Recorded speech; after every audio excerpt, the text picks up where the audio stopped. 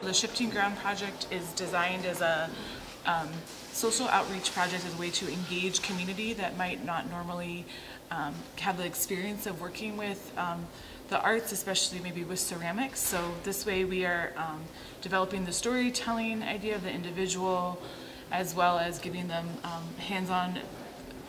um, ways to express themselves and through creation, working with um, working with clay. It's been a really wonderful um,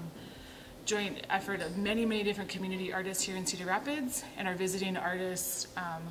Paulo and Antonio from um, Portugal, um, working all together to really help engage um, this group of Hispanic youth. We built a shark, we built the idea of a, of a soccer goal, um, we were working with a lot of hands-on um, clay material. So we were rolling coils, pinching clay, um, and making some pretty big um, objects that'll then be on display on the 27th um, on the exhibition. This is the, our first work outside Portugal. We are doing this work uh, here in Cedar Rapids and the idea is, is to, to take the same idea and develop another, like another branch of the same idea in, in Portugal. So we are going, we are working now with immigrants and and uh, uh, sons of immigrants, immigrants of second generation immigrants, and in Portugal we are going to be the, the same kind of of, uh, of uh, population, the same kind,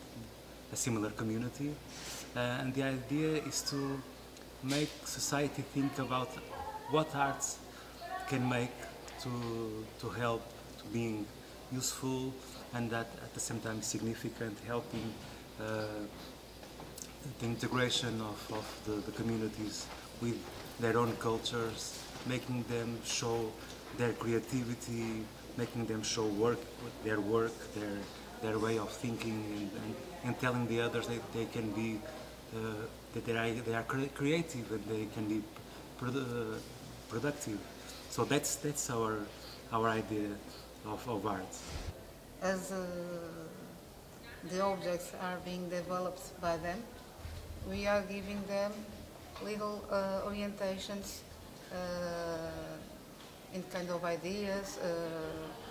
kind of sometimes techniques also, um, and uh,